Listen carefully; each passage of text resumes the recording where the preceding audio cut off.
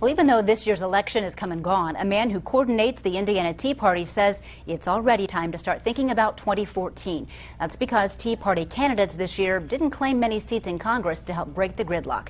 News Channel 15's Megan Royce has details tonight from Studio 15. The Tea Party wasn't happy to see the outcome of the election Tuesday night. They say now's the time to start looking for good candidates who could perform better two years from now. Indiana local Tea Party coordinator Emery McClendon has hope. Although Tea Party candidates didn't do well Tuesday night, McClendon says the Tea Party needs to buckle down.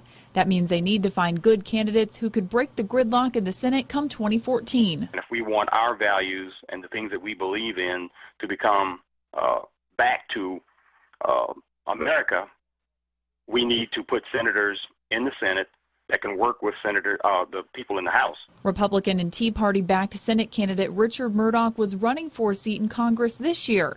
McClendon was surprised to see him fall to Democrat Joe Donnelly. I thought that even with the um, uh, statement that he made during the debate, I thought he would probably still win the election based on fiscal policies and um, uh, looking at the spending that our government is doing. Some Republicans may be wondering why they didn't get a majority in the Senate.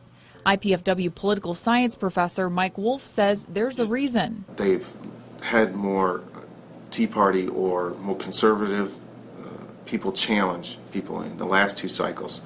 And if you had had a more moderate person in those, they would be holding probably five seats maybe six. Wolf says the Republican Party should focus instead on recruiting more moderate conservatives. The consequence is that uh, you know they tend to maybe appeal more toward toward the middle ground and where the more voters are.